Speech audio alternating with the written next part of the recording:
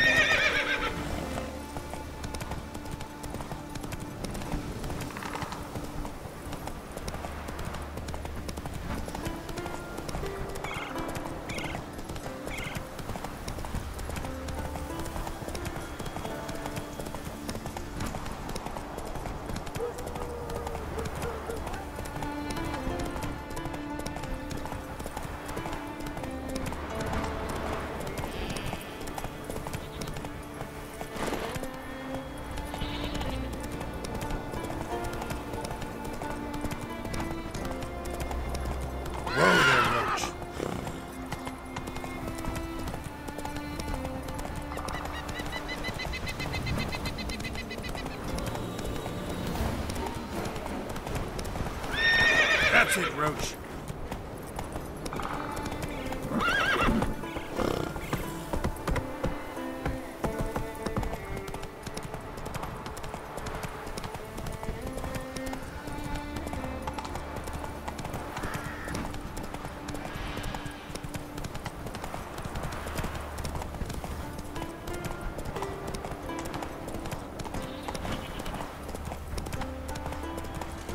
ah! it,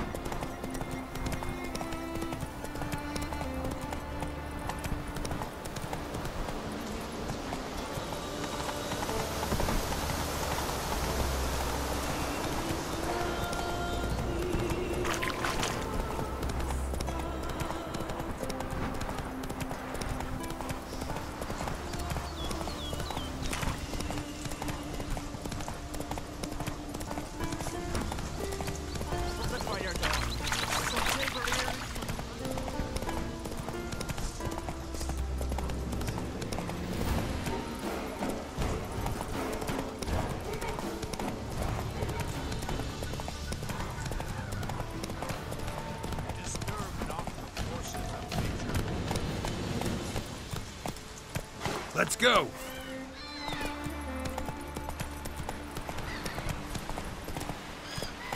Who are there, Witcher? Take it easy.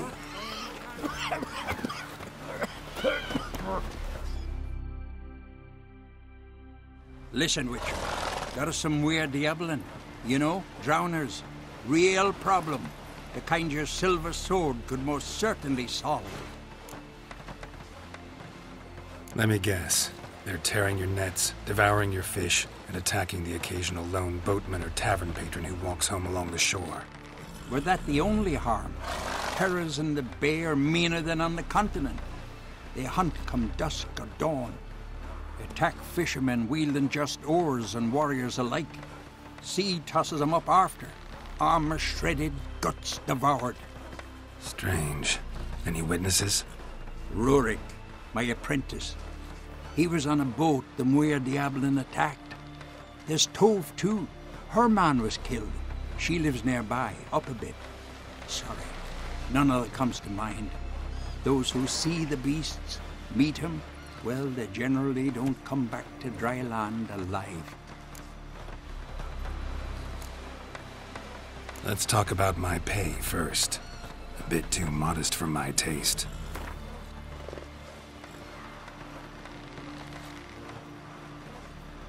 That's dear, it is, but could be worth it. All right, I'll pay you what you want. I'll take the job. Dealt with drowners many times. It'll soon be over. Got my word on that.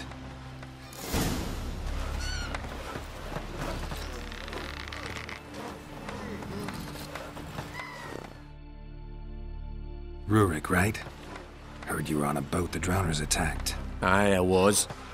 With Ulf, my cousin, gathering our crab traps off the Kjerrig cliffs. Ulf was pulling up a line, having a hard time of it. Oh, grand, I thought. Cage has got to be full, it'll be a good haul. Then something tugged back and down. Weren't a blink and Ulf was underwater. Called after him once, twice, thrice. Then the water went red with blood. I smelled something horrid. Rotten, but worse. And the Muire D'yaeblen flipped the boat. Don't even know how I made it ashore. Must have had Freya watching over me. That, or the monsters had eaten their fill. Thanks for the story. Man, strange luncheon where the bottom's almost flat, and about a two-foot crab.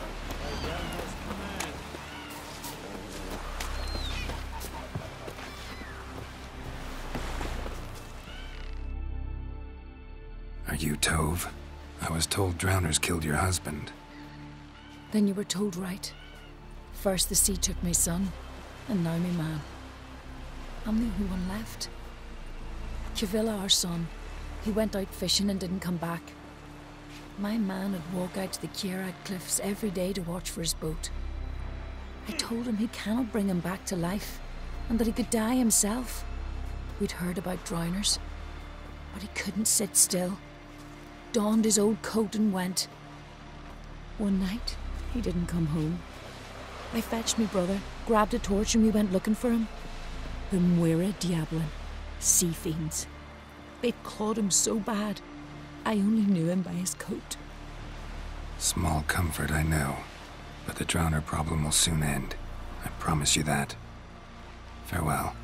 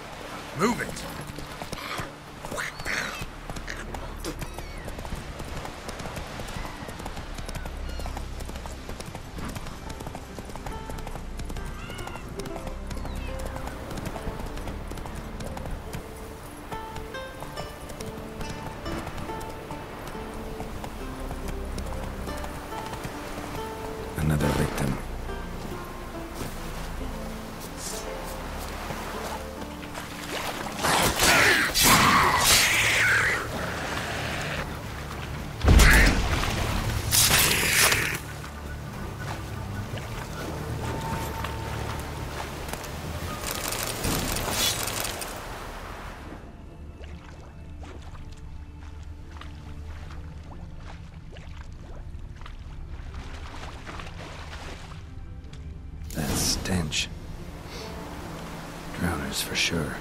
Lair must be nearby.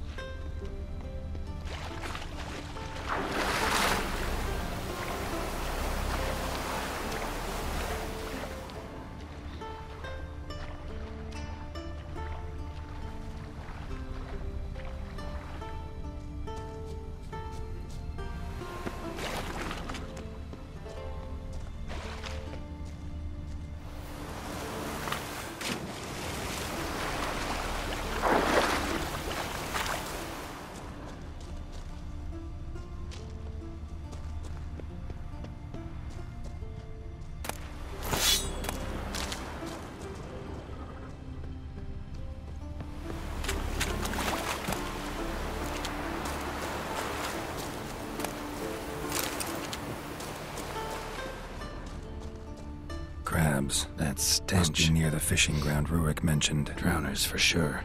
Lair must be nearby.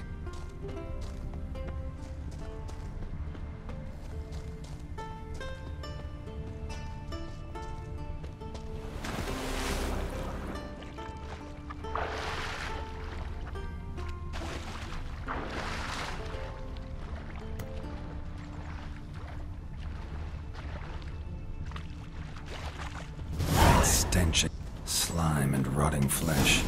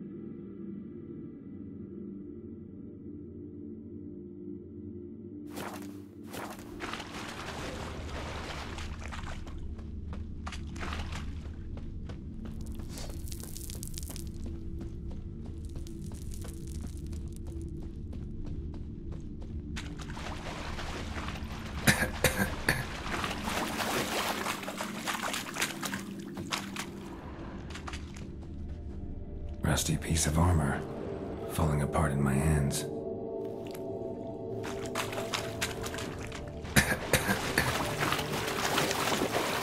The monster's lair. Definitely not a drowner's. Bruises on his neck, crushed larynx, strangled.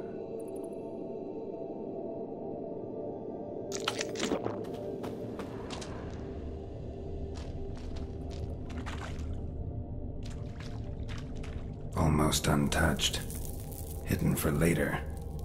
Drowners just don't do that. Bruises on his neck, crushed larynx, strangled.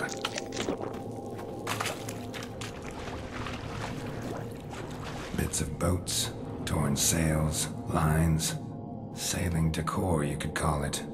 That stench, the marks on the bodies. This must be a water hag's lair. Got a keen sense of smell. Won't come back while I'm here, unless she coexists with drowners. Maybe I could make an extract from their glands cover up my scent.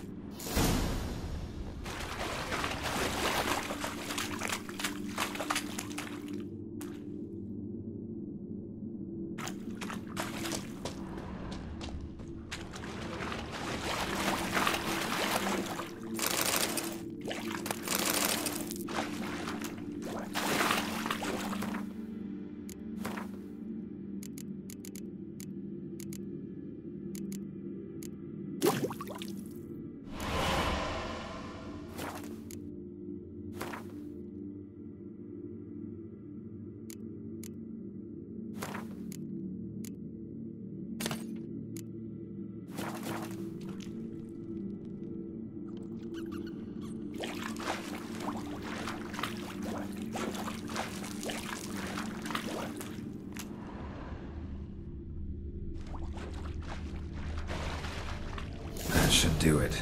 Now for a place to hide and wait. Behind those boats.